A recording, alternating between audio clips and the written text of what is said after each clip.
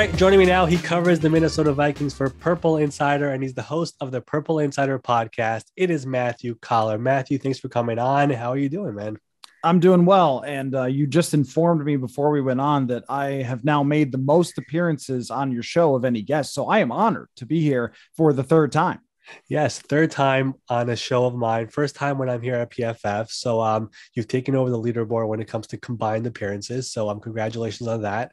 It's also great meeting you at the combine. We had to meet in person. So um, a lot of great things going on. And you know what I wanted to do here is, you know, we're kind of entering the slow portion of the offseason where there's not much going on, but um, the NFL always find a way to make stuff happen. Like this week, we're gonna have the schedule release, and they're gonna stretch it out a whole week of releasing games until a four-hour show on Thursday night. So they know how to juice it out. But when it comes to the news aspect, there won't be that much going on. So I wanted to go and take a look at which teams had the best offseason. And uh, we'll both choose one. We'll probably do three each. But I want to do that on the back end of the episode. I want to start off talking about the team you cover, and that's the Vikings, because they had so much turnover this offseason with a new GM, a new head coach, some new additions, some subtractions, whatever it is. Um, let me start off with really the draft because, you know, I was just fascinated with their first round where they trade from down from 12 down to 32 and they trade with the Lions to allow them to get Jameson Williams. And I felt like they didn't really get enough. And I know probably on the value charts they did. I was kind of curious to know what did you think of that move and what the Vikings overall did in that first round? Yeah, I guess uh, what I found out is there are many different ways to look at a trade when it comes to the NFL draft. There's the Jimmy Johnson chart, there's the PFF yes. chart. Some people have their own charts. Teams probably have their own charts of what they think the draft picks are worth.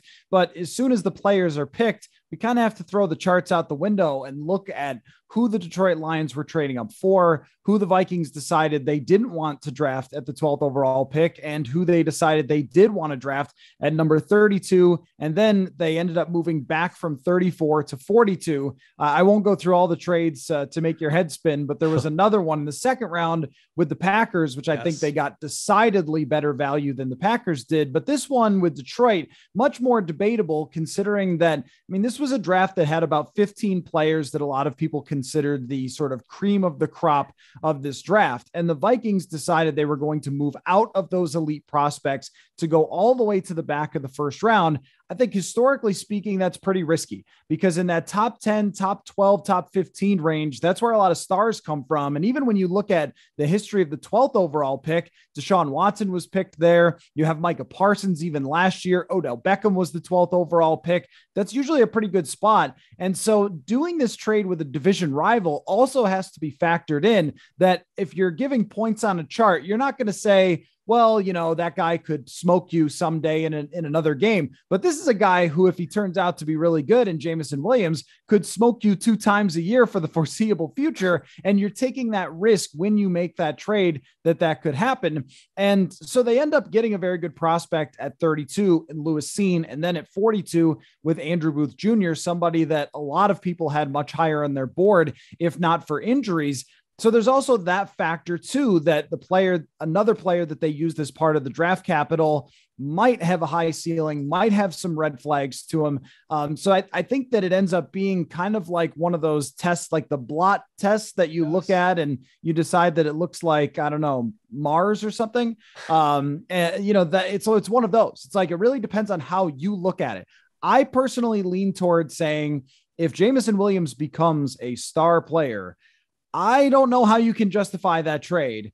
However, if Lewis Cine and Andrew Booth Jr. result in the Vikings rebuilding a secondary that was really atrocious over the last couple of years, and Jameson Williams doesn't become a star, then we'll all say, what a genius trade. Everybody kind of gets to decide after the fact whether they were right or wrong on draft day, because I think this one could kind of go either way. But did you feel like the overall return just didn't, it just didn't feel enough? You know what I mean? Like it was, dropping down 20 spots. There was no future first round pick. Detroit has two picks next year. Did you feel like the package they got back, forget about the players, they didn't know who they're going to have there on the board. Did you feel like the package when it happened at number 12, was that enough for you? Uh, for me, it was not. No. Um, in part, knowing that Detroit was moving up to take Jameson Williams because everybody had him as that either him or Kyle Hamilton was who Detroit was going to take. And those are two of the elite prospects in this draft. And to not have to give up a next year's first for that, I mean, historically, that's just different. Like, usually teams that move up. There was the example of the New Orleans Saints, who I think went up 13 spots and gave up a next year's first for that to draft Marcus Davenport. Yes. Um, we saw it happen uh, even uh, the year before with uh, Justin Fields. Now, that might have played into it, is that it, they weren't trading up for a quarterback, which is naturally going to be different because teams trying to trade down are saying, okay, pony up if you want this franchise quarterback. Um, however, usually they win the trade on the charts by a lot when you're asked. Usually yes. we don't have this debate of, hey, this chart says you won, this chart says you didn't. Normally we're saying, okay, the team that traded down absolutely, you know, hoodwinked this other team and won this trade by a lot. Uh, and instead, we're left to kind of go, well, maybe you did, maybe you didn't. And uh, ultimately, history will decide whether they did or didn't. So it really all comes back to the general manager and Kwesi Adofo-Mensah was hired this offseason. I think every all my colleagues here at PFF love the guy because of what his beliefs are and how he's so into analytics. This is a guy who worked on Wall Street before getting into the NFL. I mean, he's a really, really smart guy. I guess what are your thoughts on Kwesi and the job he's done so far as GM? Because it's such a different philosophy. He's a different type of a GM. We don't really have that many of these type of guys in the NFL. What do you think about him and what he's done so far in Minnesota?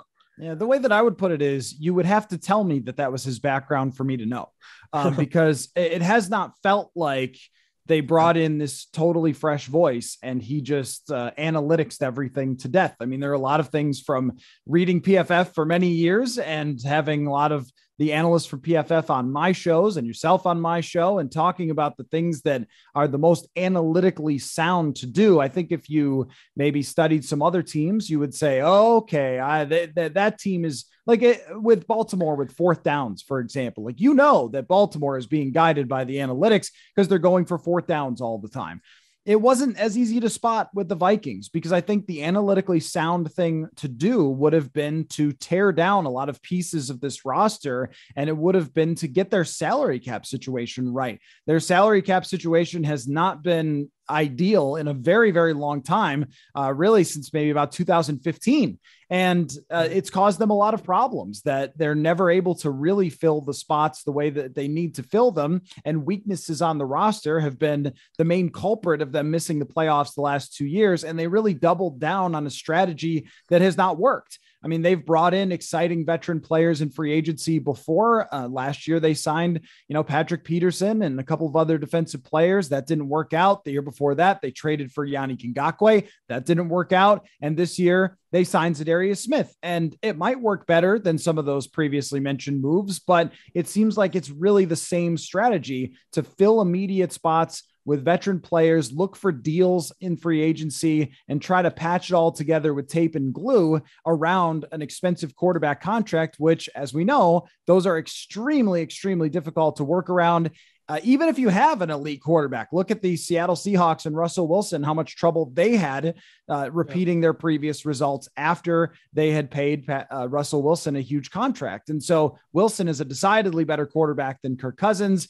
They have not been able to figure this out. And they didn't do things that made you think, oh, okay, like now they've they've figured out some way to work around that expensive contract either. They did the same restructures, extensions that do not make life easier for them down the road. And they added to an extension with Kirk Cousins void years in the future, meaning that if Kirk Cousins isn't here in 2024, he's still going to make $12 million on their cap, which is not good for their future. And then with the draft, it's possible they used a more analytically sound right. chart than the JJ chart to uh, trade down. Maybe that's about the most analytical thing they did. They did draft good athletes later in the rounds, which maybe in the past Rick Spielman didn't always do. But if nobody told you the Vikings had a new general manager, um, you might not have noticed because things, right. their general approach were so similar to how they were with Rick Spielman you know what I find amazing about Kwesi is that the Vikings GM job came down to him and Ryan Poles. Poles, of course, goes to Chicago. They're kind of tied into each other. I want to see how both those guys do, just because he was the other finalist in Minnesota. When you bring all that up, where are the Vikings right now? Or it's it's clearly not a rebuild. Is it a remodel? Is it going all in? Where are they right now, in your opinion? Yeah, and that's really interesting. You bring up Ryan Poles because Chicago has taken much Step more back, of a yeah. full rebuild approach, which we we always thought that that's what the Vikings would do when they fire Mike Zimmer and fire Rick Spielman. It never stood to reason that they would keep everybody else and yet, that's basically what they did. Anthony Barr is not going to be here. So that's a long time name that's gone. But aside from that, it's still sort of the same players that they've been clutching onto since they had to really uh, revamp the roster in 2020 when a lot of their stars from the 2017 team that went to the NFC Championship got old. And so earlier this offseason, Kwesi Adofo-Mensah called it a competitive rebuild, but I don't see the rebuild part. There's nothing that they have done that I could say, okay, that's very rebuildy of you. I mean, drafting players is not a rebuild. Every team drafts players except for the Los Angeles Rams. So you, that's not like rebuilding because every team could argue, oh yeah, we're we're building while trying to compete uh, all the other things, keeping Adam Thielen, keeping Harrison Smith, extending Kirk Cousins when there were offers to trade for all of those players, uh, even keeping a running back on a very expensive contract. Again, not the most analytically sound thing. Uh, not that they had a ton of options with Dalvin Cook because of how his contract was set up, but even then, like not looking toward the future, saying, how can we create the most cap space down the road to use? Uh, they didn't do that and they hurt themselves down the road with the way that they restructured deals, which means to me that this has to be called all in. That just because the general manager says the word rebuild, I mean, that sounds much more to me like kind of a cop out, kind of, hey, if we go eight, nine, it was, uh, we were competitively rebuilding. But even though every move says all in, they signed Jordan Hicks, for example, as a, a linebacker from the Arizona Cardinals. It's like, well, you know, they could have played their younger linebackers. They could have played Brian Asamoah, who they just drafted. They could have played Blake Lynch, who is a developing player, Chaz Surratt, Troy Dye. Those guys were recent draft picks that have not seen the field a whole lot. And instead, they said, no, we need to replace Anthony Barr with another veteran player out the free agent market. Like those are not moves that you do if you're trying to rebuild and evaluate all the pieces the same thing goes for even the, the guard position, where they brought in two veteran players to battle for the right guard spot, as opposed to trying Wyatt Davis there or the player that they just drafted in the second round as a guard. Uh, instead, it's, it's been very much all in, got to win now type of moves with a 34 year old quarterback who is the fourth highest cap hit in the NFL. None of this says uh, rebuild. So the way that I'm evaluating this season is you better be right because there was a very clear other path. So you better be able to win more games than you did under Mike Zimmer and Rick Spielman. So you can point back at them and say it was their fault because otherwise, I mean, you're going to look like you just didn't really read the room very well or didn't get very good advice and direction from the team's ownership, which has also become a conversation this offseason of whether the owners will not allow them to take the step back that they may desperately need. Now, you mentioned the quarterback and Kirk Cousins. I think that element is always going to be a topic. And I kind of feel like he's at times a punching bag for the media and fans. Sometimes it's deserved, sometimes I don't feel like it is. But they extend them on one year. They add a no trade clause, which I think is very noteworthy. How many more years do you feel like he's the quarterback in Minnesota? I mean, it's such a big topic. It always comes up. There were some trade rumors. It wasn't that serious, if it appears like. But his future in Minnesota, where do you believe it is? He wants to retire there as the quarterback, be there for many more years. He's the king of business when it comes to the quarterback position. I mean, the amount of money he's made is incredible. But where do you sit on Kirk Cousins?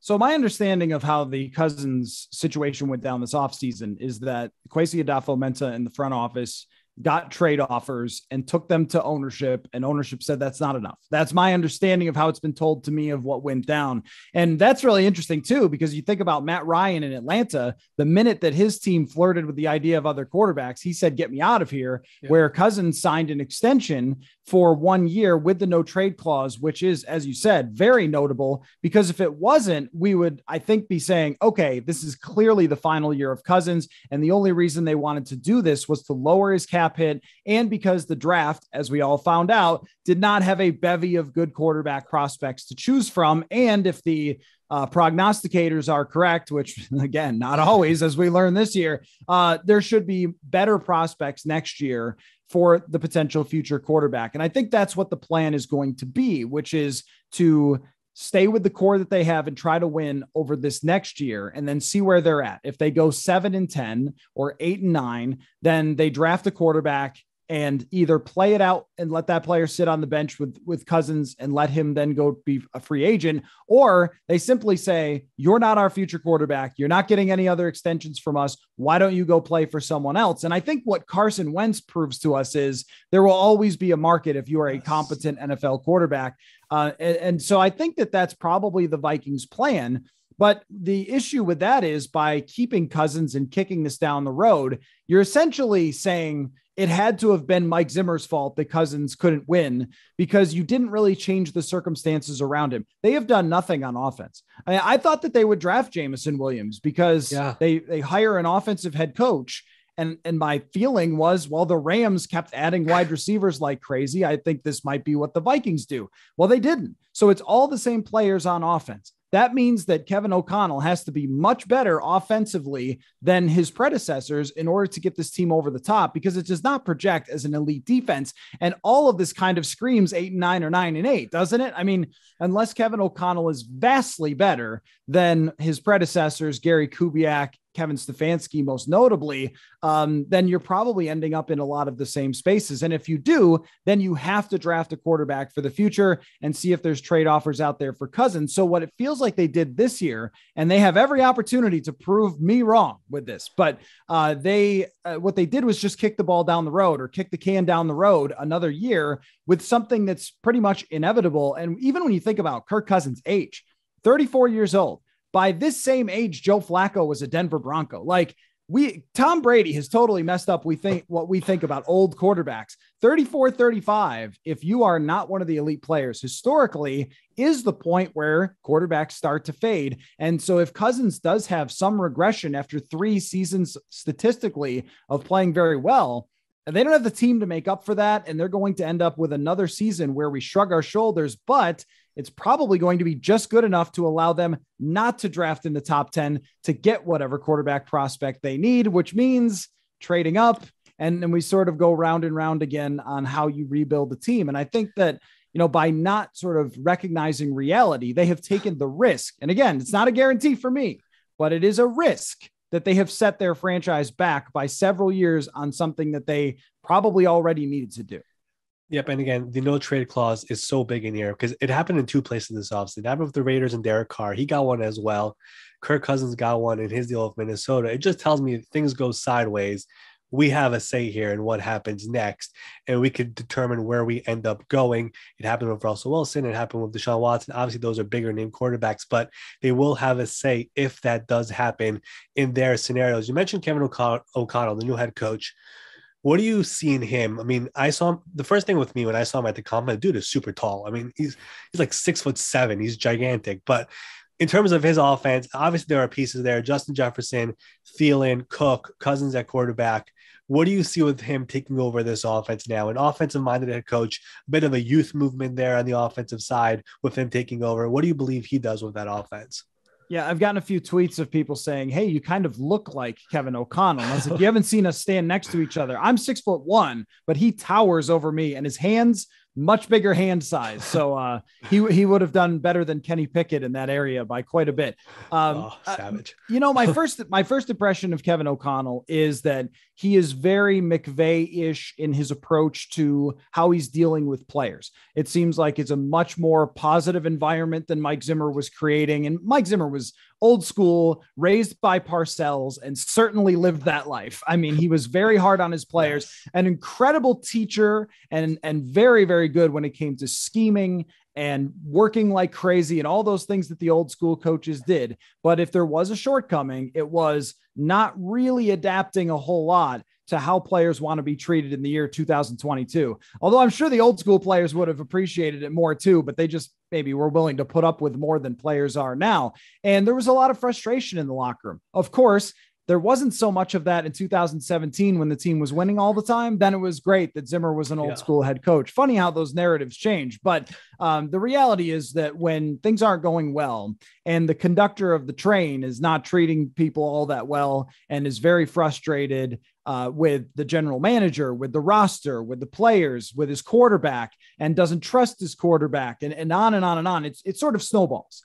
And so what they looked for was the exact opposite of Mike Zimmer someone who's going to be much more of a player's coach, a former NFL player, a guy who comes from an offensive background and a very positive first environment background, like with the Los Angeles Rams. And so players have already talked about how uh, it is much more, and the, the buzzword of the offseason is collaborative, but uh, hearing out the players when they have suggestions, when they have questions, um, not calling out players in meetings for mistakes uh, in the way that Mike Zimmer sort of became famous for doing. And, you know, I think that that certainly is part of solving some of the problems of the previous regime. But the real question is how much of it is it really? Because Mike Zimmer schemed up this team 51 sacks last year, which was second in the NFL. Yeah. And uh, they didn't have a whole lot of pass rushing talent after losing Danielle Hunter. Like Mike Zimmer had a lot of the right ideas with Kirk Cousins. People can point at Mike Zimmer and say he didn't know what he was doing offensively. Then I guess I have to ask why Kirk Cousins has had his best three seasons over the last three years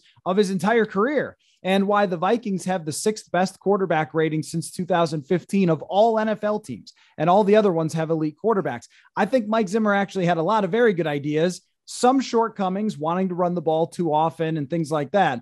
But, uh, you know, I think that pointing the finger entirely at Mike Zimmer and saying, our new coach, he's going to be everything that Mike Zimmer wasn't. He's going to have all the answers. He's going to manage the game perfectly. He's going to treat the players perfectly. He's going to scheme much better. Like in an ideal world, that all happens and this team wins 12 games. And it's possible with their schedule, which uh, you know, has uh, you know, there's some some pretty easy teams on it, or should be easy teams. They lost to Cooper Rush last year and the Lions, so I can't say uh, that they yes. should be that easy. But you know, it, it's not it's not the most daunting schedule with the divisions they're playing against. So maybe all of that will come to fruition with Kevin O'Connell. But I also think that you know he's got a difficult task. First year head coaches, we have not seen a whole lot of them come on the scene, save for someone like McVay, and set the world on fire um, there's usually a, a, pretty big period of, of uh, adaptation that's required there. Um, but I think that Kevin O'Connell, at very least, will have a locker room that is much more behind him than what Mike Zimmer had the last two years. Let me ask you one more thing here in Minnesota. Are you guys already talking about the Justin Jefferson extension for next year and how big that's going to be? Because it's going to be massive. That's if he's here. I mean, truly, wow. that's if he's here. Because if you're Justin Jefferson, I mean, A, you look around and go, Davante Adams decided where he wanted to play, right? He said, I will play for the Las Vegas Raiders. Trade me there. Thank you.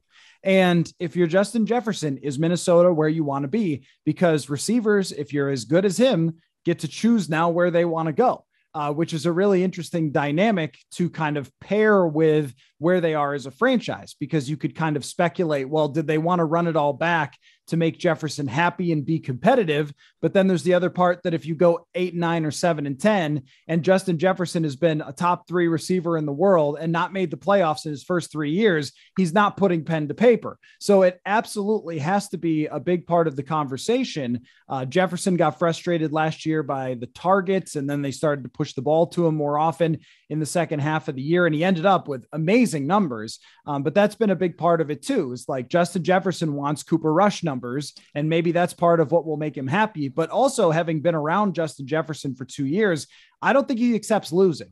I don't think that he's the type of receiver who says, "Hey, as long as I get my numbers and my paycheck, I'm good to go." He, uh, I've seen him after tough losses. I mean, he is crushed. Like th- this guy won a national championship at LSU and expects to win championships in the NFL and has played like a championship player and been let down by what's around him. So if this franchise looks like it's spinning its wheels and floundering, I don't think Justin Jefferson is going to say, "Oh yeah, I can't wait to sign that contract." The other thing that he knows is he's going to get paid by whatever team. Like it's not like Justin will lose out on money somehow by holding out or you know whatever else. What he's accomplished already and what he projects to accomplish. Plus, he's still very young. I think he's still 22 years old. Yeah, yeah. I mean, maybe going on 23 this year. Um, there's yeah, I think that uh, Vikings fans should be quite concerned about that situation and, and, what it has to come in the future. And boy, if you don't make the playoffs, if you don't compete for a Super Bowl, and you've wasted three years of a top three wide receiver in his early prime, I mean that that's going to be regret cities for uh, the Vikings. I feel like the only difference though would be comparing him to Davante or even Tyreek is that he would be entering year four next year he he will still have year four, a fifth year option, even a franchise tag. So the leverage really isn't there for him compared to some of these other guys where Deebo has one year left, and a tag possibly. AJ Brown had a year left and a possible tag, but in his case, he has at least three more years left. So I guess Minnesota have the leverage there with him if it gets ugly, but um, still a lot more time until we get there with that scenario. All right, let me jump into the um, other segment of this um, podcast, I guess, which is again, we're entering this slow portion of the offseason. A lot of these rosters are basically set. Um, obviously, there will be some other moves. Um, for the most part, the hard work is already in, the draft is in, the free agency period for the most part is done. So let's go through the, some of the teams this offseason that had a good or really good offseason in your mind. You'll pick one, I'll pick one. We'll probably each do three of them in total. In total, so six um, in total, I should say. So, um, guest first. Go ahead, Matthew. Who do you have? Number one.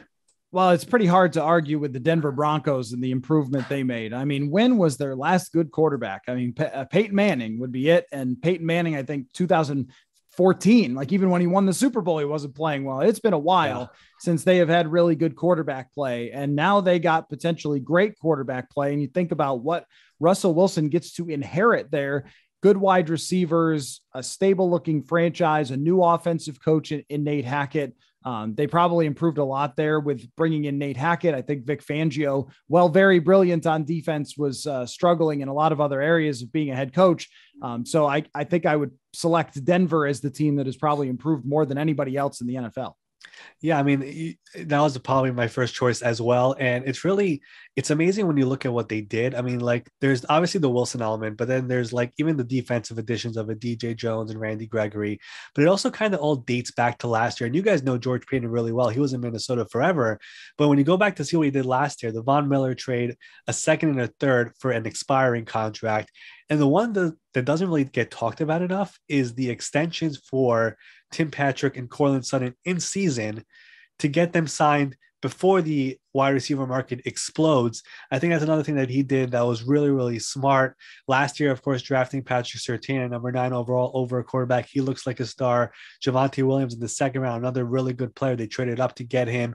And they already have the guys like a Simmons and a Chubb and a Judy Bolles um, at left tackle and others on this roster. It's definitely a team that, you know, George Paton, as I said, you guys know him so well. He had so many opportunities d- during his time in Minnesota to leave. He decided to stay and he picked Denver as his team, getting getting a six year contract. He's turned that team around fairly quickly. Of course, a very tough um, division there, but what he's done this offseason has been really, really impressive.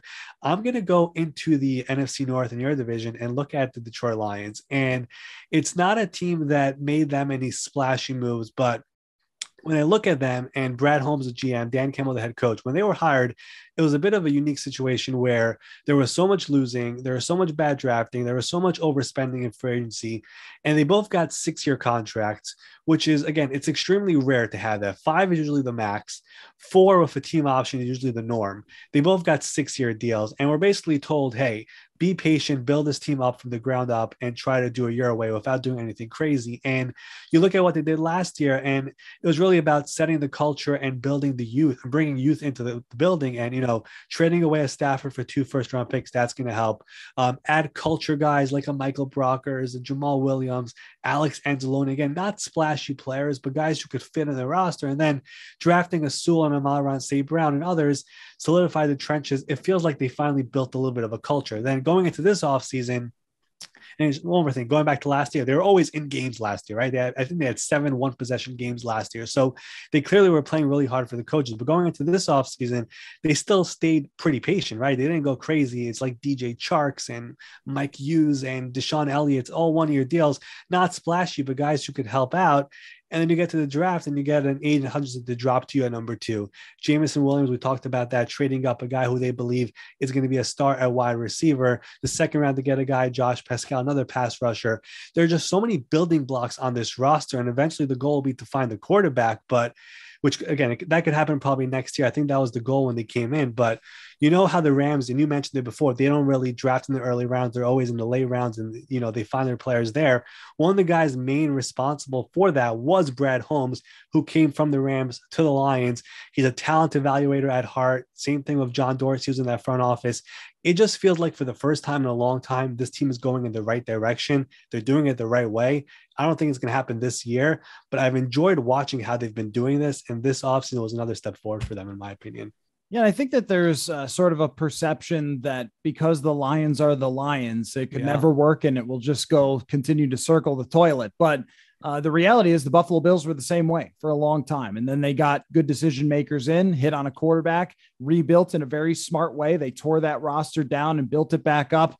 And they are now Vegas favorites for the Super Bowl. I mean, trust me, I, I never would have thought Buffalo would be in this spot considering they missed the playoffs for 20 straight years, but it can happen fast. And I think that what uh, interesting about the last two teams we talked about, Denver and Detroit, is that they've done a lot of things that a lot of people suggested for the Vikings to say, look, you ran to the end of your uh, run with Kirk Cousins, and now you need to go to the bottom and start to build it up again. Or even, even if you want to do a competitive rebuild, do what uh, Denver did and kind of have that filler quarterback like Teddy was for them last year. Uh, that's not what they've done. And I think both teams are in a better position that even Detroit this year, I would not be completely shocked if Detroit won something like eight games and was right there yeah, because yeah. Jared Goff, I mean, he struggled a lot last year, played through injuries. The team was really bad. But this guy, when he's had ideal circumstances, has been in the playoffs, what, three times in his career? Made a um, Super Bowl. I mean, yeah, right. Eh, right. So, like, if you give him the right situation and now they get Jameson Williams to add, and it looks like he's going to come back from his injury maybe faster than anticipated, uh, the, you know, they look like they could be a team that's not dangerous for a Super Bowl, but is dangerous for a future Super Bowl. And for this year, maybe even being that in the hunt team that's in eighth place going into the final week or something like that. Um, and I think it is notable that in the second half of the season, they started to take those steps forward. And like this is, they've put on a masterclass how to rebuild, completely rebuild an NFL roster, trade away your valuable pieces, make a bunch of high draft picks when you see a potential elite player, take a swing for him as they did here with Jameson Williams and have a coach that gets everybody to play, you know, kind of behind him as Dan Campbell yeah. has. Everyone laughed at him at the beginning, but uh, he got his guys kind of on board with what he was selling. And so I think that uh, that's a really good pick. I would put Detroit very high that even though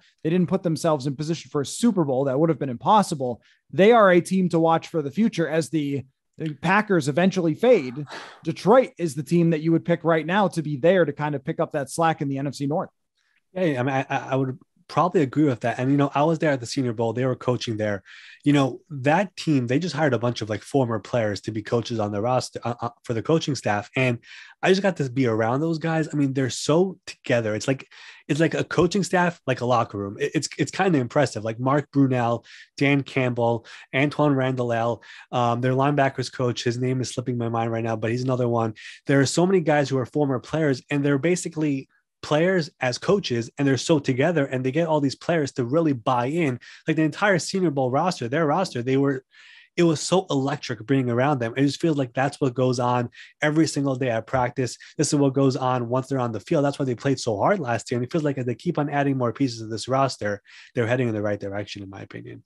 And uh, my next pick will be another team yeah. that is at the bottom and has a chance to go up. I think maybe the biggest improvement in coaching in NFL history, uh, or at least close. May, once upon a time in Vikings history, Bud Grant came back after Les Steckel had been a disaster. So that might be the biggest improvement going from Steckel to Grant. But Doug Pederson following up Urban Meyer alone is a gargantuan improvement. And, and here's, here's the thing about the Jaguars offseason, which has been widely criticized by a lot of people. Uh, number one, yes, they overpaid Christian Kirk but you can overpay people when you have a quarterback on a rookie contract. Not only that, you're Jacksonville. How are you supposed to get anyone to play for you, you, if you Thank don't you. overpay yes. them?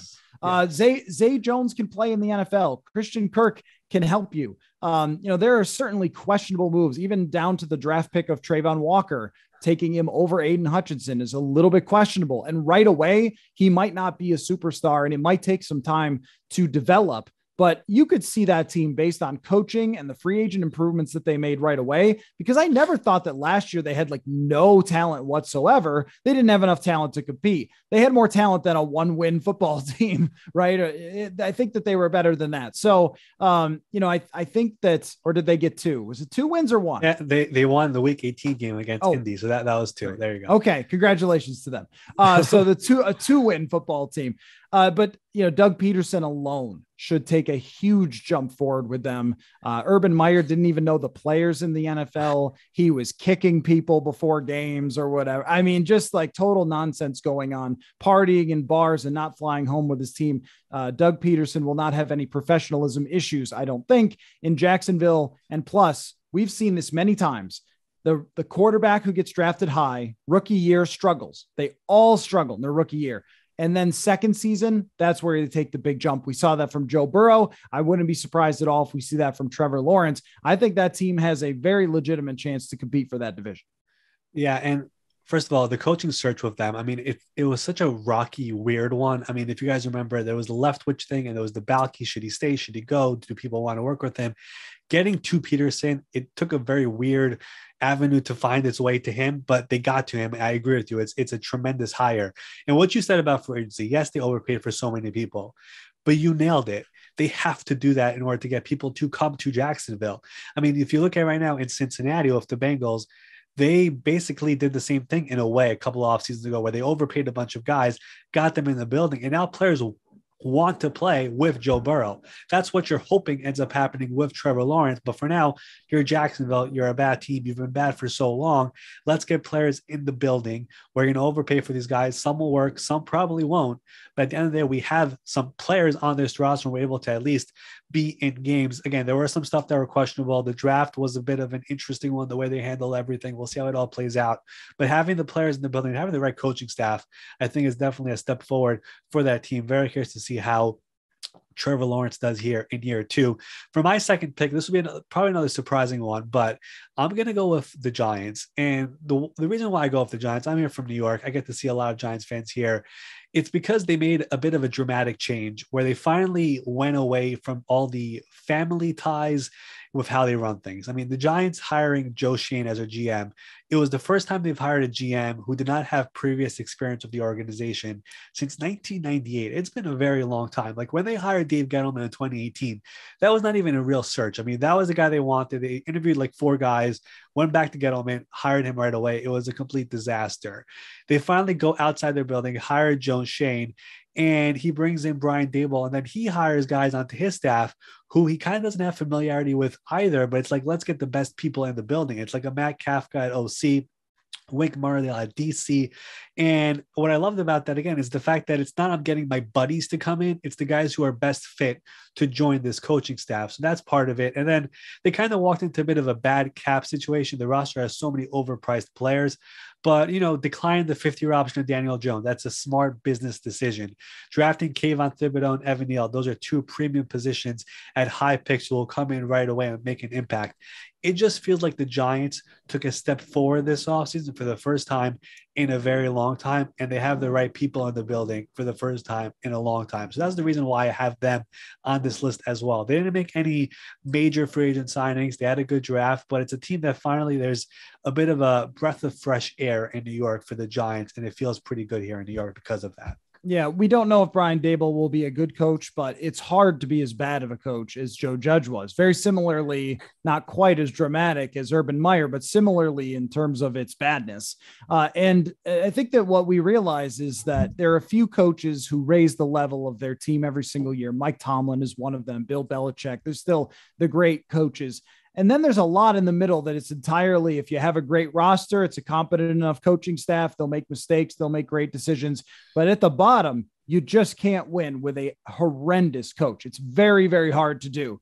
Um, you know, maybe some Packers fans would say Mike McCarthy did a lot of it, but I wouldn't even put him in that category. He's much more in the middle for me. If you're a Joe Judge or Urban Meyer, your team is going absolutely nowhere. So if Brian Daboll can take a lot that he learned from Sean McDermott, who to me moved himself up into the elite coach category over the last couple of years, uh, then they have a chance to be at least competitive with Daniel Jones and find out whether there's something there with Daniel Jones if he was just held back. I'm very skeptical about that. I think he's probably just not a good quarterback, but by declining the fifth year option, unlike, say, what Carolina did with Sam Darnold or even Cleveland with Baker Mayfield, though I would have done the same thing at the yes. time. But by declining that fifth year option, it just gives them all the options in the world that if this doesn't work out with this roster for next year, that they draft high, they can pick their next quarterback. And if they win 13 games and Daniel Jones is magically great, let's say he's the next Tannehill, where all of a sudden he finds the right circumstance and plays really well, then they can sign him to an extension and they can go forward.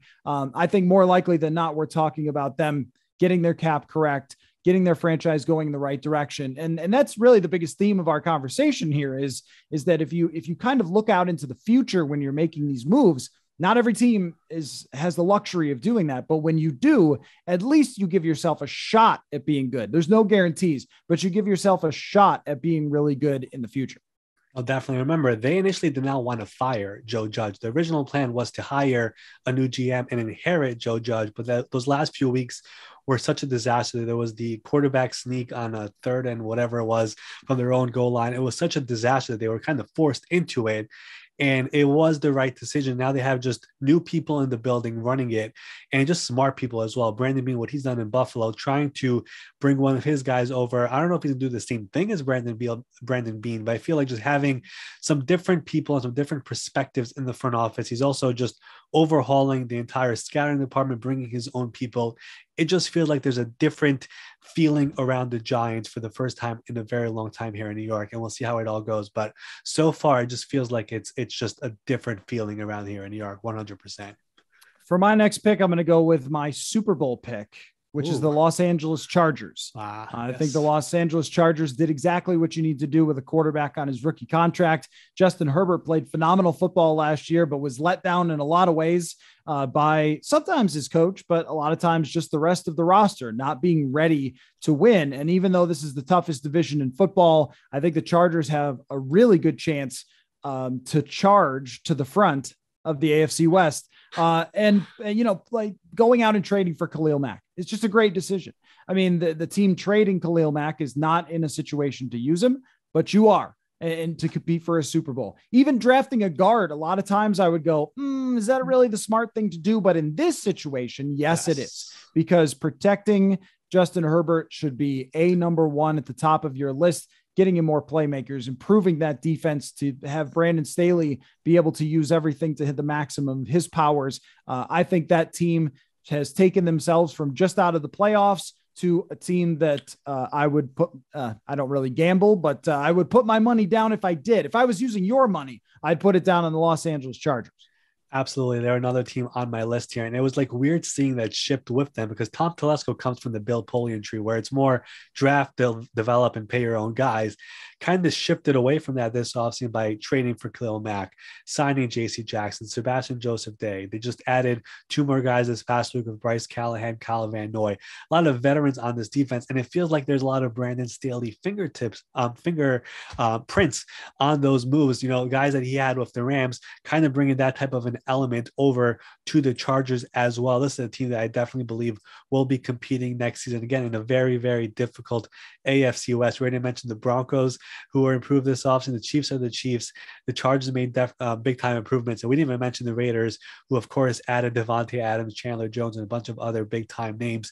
For my final one, I'm going to go, and I had, I had the Chiefs or the Eagles here. I'm going to go with the Eagles. And really, it's specifically how they've really handled everything since last year's just debacle. It was two years debacle with Doug Pederson, the way it ended, the losing on purpose on Sunday Night Football in Week 17, getting the higher draft pick, trading back, getting a future first round pick, and looking at how it's all kind of developed, especially the Carson Wentz trade, where you get a future first round there by giving him to Indy. Clearly didn't work over there, but looking at what they've been able to turn all those picks into, of course, this draft, you get Jordan Davis, you trade for AJ Brown, and really looking at that contract, it's a pretty I, I, I, want, I don't want to call it a team friendly deal, but it's not what it was basically reported. I mean, there are ways of clearly getting out of that contract in case it doesn't go well after two years. But a big body receiver for Jalen Hurts, and really just a trade with the Saints, where they're able to push one of those first round picks over the next year and, and as well get a, a, future second round pick as well. It just feels like Harry Roseman was in such a mess after what happened with Doug Pederson and the Philly fans who are always very, very loud were calling for his name the way he's turned it around, hiring Nick Sirianni, having a pretty solid year last year, turning around, winning seven out of their last nine games, and just seeing the way they handled this offseason, adding AJ Brown, um, adding Haason Reddick, um, adding Jordan Davis, getting to Kobe Dean in the second in the third round, um, getting their future center in the second round as well. It's just incredible to see where they were two years ago to where they are now, and to have Jalen Hurts for one more year, see how he does, and still have two first round picks in your back pocket for next year. Just the way he's been able to build that roster and the way he thinks for the future, it's been impressive to see considering where they were after the whole Doug P- Pederson fiasco went down a couple years ago. So the Eagles are the 13 for me. I'm really impressed by the way they've been they've been able to handle everything after where they were a couple years ago. Yeah, I think what you're really looking to do also in the NFL today is that if you're not 100% sold on your quarterback, set up your roster so the next quarterback wants to play for you. Like think yes. about Tampa Bay. I mean, I'm sure the weather played a role for Tom Brady picking Tampa Bay, but what was it more likely that they had Mike Evans and Chris Godwin and they could add Rob Gronkowski if he went down there? I mean, that's what Philadelphia wants to be for the next disgruntled quarterback if Jalen Hurts isn't the guy. And even if he is, I mean, you've built up the roster to this point where you can legitimately compete for a Super Bowl in the NFC. I mean, the roster is strong enough. AJ Brown, you don't have to wait for him to develop. He comes right in, works with DeVonta Smith. Their offensive line is already good. Their running game is already good and will be extra explosive with Jalen Hurts. It's really about improving their defense, which I think that maybe there were more things that they could do there. Uh, but if you're comparing just even the off seasons for the Philadelphia Eagles to the Dallas Cowboys, I think that oh, the wow. Eagles gained a lot of ground there, right? And so you could see them being a team that takes it from you know being just on the fringe there to uh, potentially even winning that division. I think that some of last year also was probably a paper tiger to some extent based on their schedule with a lot of those wins, but you're still talking about a team that's going to have a fairly easy schedule with some of the divisions they play. And I mean, they decided that it wasn't all perfect. And they said, we need to be better than this. We need to trade a first round pick and go out and get somebody like AJ Brown. I mean, I, yeah, I thought it was a phenomenal offseason for the Philadelphia Eagles for now and later, because if Hurts is the guy, you're, you're golden and you go forward with him. And if he's not the guy, you either draft someone high next year or you get uh, it's hard to predict today who the disgruntled quarterback is going to be, but hey, maybe it's Ryan Tannehill. Maybe he's uh, they'll ask him to you know show Malik Willis how to throw an out route or something, and he'll just demand a trade. I don't know. Yep, no guaranteed money left on his contract after this year. Definitely um, one of the quarterbacks to keep an eye on next year. You never know where things could end up going. Last year, we kind of knew it was Russell Wilson and Aaron Rodgers. I don't really know where that is right now. But again, Matt Ryan all of a sudden became available. Maybe your guy Kirk Cousins could become available. Whoever it is, there will be veteran quarterbacks that become available. And next year's draft class is believed to be a pretty stacked one. All right, Matthew, I really want to thank you for coming for coming on. Always a good time when you're on. Everyone can follow you on Twitter. It is at Matthew Coller. Thank you so much for your time, and we'll definitely do it again soon. Yep. Thanks for having me.